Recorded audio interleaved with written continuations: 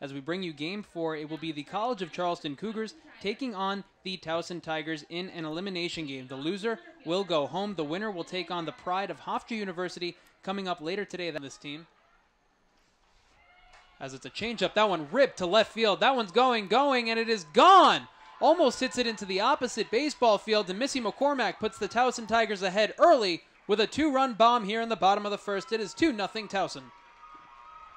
And Missy McCormick helping out her own cause. And a few times before in the JMU and Hofstra game. So here's the 1-0 pitch to Johnson. Rope down the right left field line, excuse me, and that is a fair ball. So Cahill will come around to score, and Johnson gets herself an RBI double. It is now 3 0 in favor of the Tigers. Missy McCormick has a chance to work herself out of a bases loaded two out jam.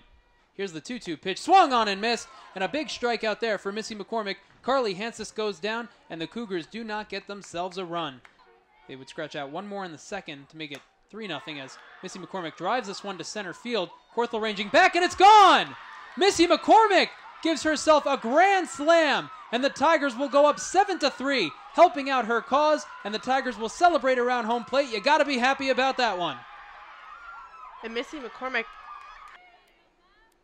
Here's the 1 0. Delaney Dunham ropes that one to the right center gap. Does it have enough? And it does! So back to back home runs for the Towson Tigers. They now have a commanding 8 to 3 lead. And the Tigers are very happy as they are now that much closer to going to the next round. And the Towson Tiger hitters, not a lot of people over 300 in this lineup, but an, a power explosion in this game. Two. As here's the next pitch, right back into the glove of Missy McCormick. She'll throw it to first, and they get the double play. Final strike, but they have hope here. The one-two pitch, that one skied in the air. Yarborough has it lined up on the warning track, and it's South who makes the grab. And that will do it for the Towson Tigers. They advance to play the Hofstra Pride, and for the College of Charleston Cougars, their CAA season is now done. Your final score, 8 to 6 in favor of the Towson Tigers.